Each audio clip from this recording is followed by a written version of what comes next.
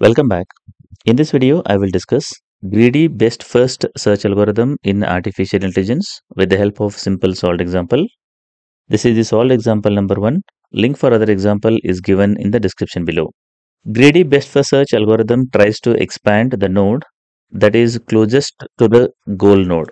Hence, uh, it evaluates the node by using the heuristic function that is uh, f of n is always equivalent to h of n where h of n is the estimated cost from the state at node n to the goal state.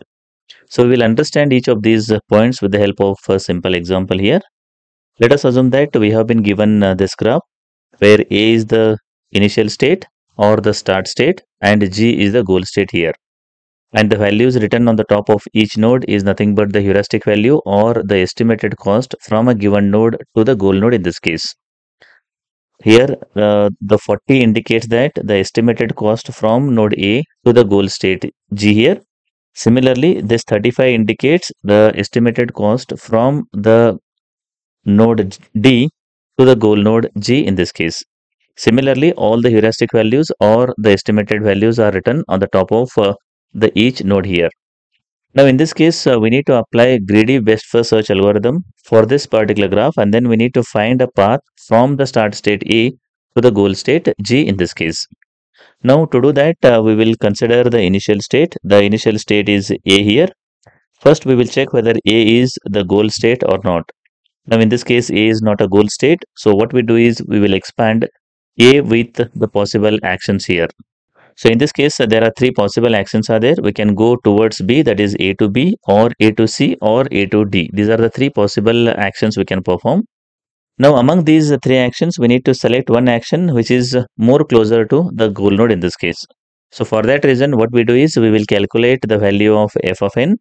f of n is equivalent to h of n in this case. As said earlier, h of n is the estimated cost from the current state that is node n to the goal state here. Now uh, we need to calculate the three values that is f of b, f of c and f of d here. f of b is equivalent to h of b which is equivalent to 32 in this case. Similarly, f of d is equivalent to h of d which is equivalent to 35 and f of c is equivalent to h of c which is equivalent to 25 here. Now once you calculate all these three values, we need to select one among uh, these three among these three, f of c is having the minimum value. So what we do is we will select a node c because it is more closer to the goal node in this case. Now once you select uh, this uh, node c, from c we need to find the path uh, so that we can reach this uh, goal node. Now from c there are two possible uh, actions we can perform that is uh, c to f and c to e here.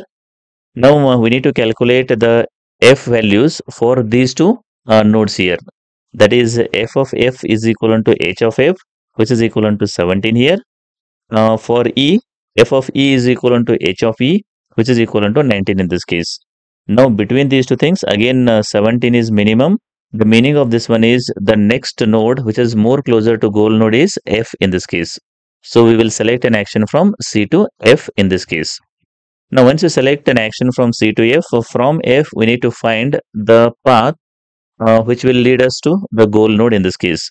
Now again uh, from F there are two possible uh, paths are there towards uh, D and another one is uh, towards G here. So we need to calculate the F values for D and G. F of D is equivalent to H of D which is equivalent to 35 here and F of G is equivalent to H of G which is equivalent to 0 in this case.